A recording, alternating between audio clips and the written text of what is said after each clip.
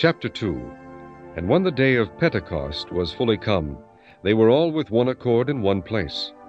And suddenly there came a sound from heaven as of a rushing mighty wind, and it filled all the house where they were sitting.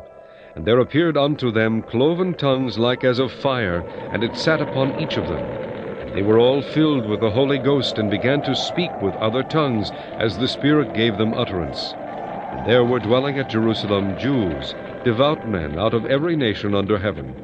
Now when this was noised abroad, the multitude came together, and were confounded, because that every man heard them speak in his own language.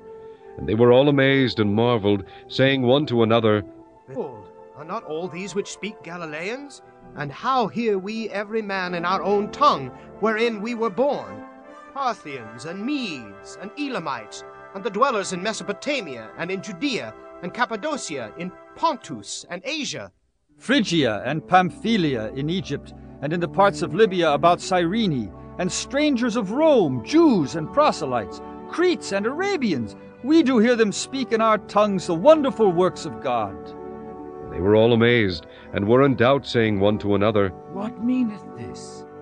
Others mocking said, These men are full of new wine. But Peter, standing up with the eleven, lifted up his voice and said unto them, Ye men of Judea, and all ye that dwell at Jerusalem, be this known unto you, and hearken to my words. For these are not drunken as ye suppose, seeing it is but the third hour of the day.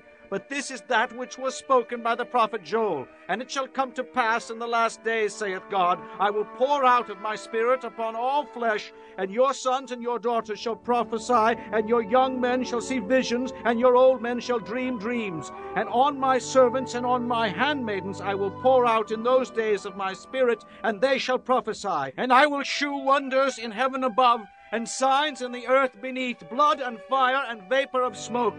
The sun shall be turned into darkness, and the moon into blood, before the great and notable day of the Lord come. And it shall come to pass, that whosoever shall call on the name of the Lord shall be saved. Ye men of Israel, hear these words Jesus of Nazareth, a man approved of God among you by miracles and wonders and signs, which God did by him in the midst of you, and ye yourselves also know. Him being delivered by the determinate counsel and foreknowledge of God, ye have taken and by wicked hands have crucified and slain, whom God hath raised up, having loosed the pains of death, because it was not possible that he should be holden of it.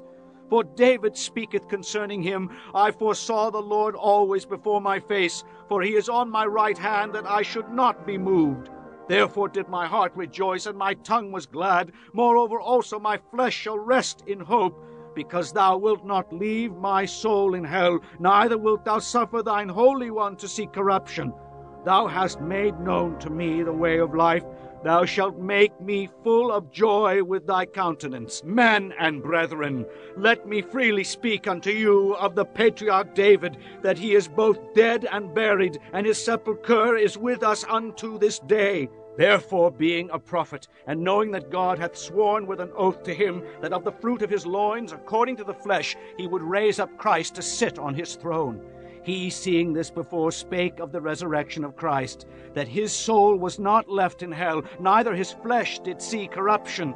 This Jesus hath God raised up, whereof we all are witnesses. Therefore, being by the right hand of God exalted, and having received of the Father the promise of the Holy Ghost, he hath shed forth this which ye now see and hear. For David is not ascended into the heavens, but he saith himself, The Lord said unto my Lord, Sit thou on my right hand, until I make thy foes thy footstool. Therefore let us all, the house of Israel, know assuredly that God hath made that same Jesus, whom ye have crucified, both Lord and Christ. Now when they heard this, they were pricked in their heart, and said unto Peter and to the rest of the apostles, Men and brethren, what shall we do? Then Peter said unto them, Repent, and be baptized, every one of you, in the name of Jesus Christ, for the remission of sins, and ye shall receive the gift of the Holy Ghost. For the promise is unto you, and to your children, and to all that are afar off, even as many as the Lord our God shall call.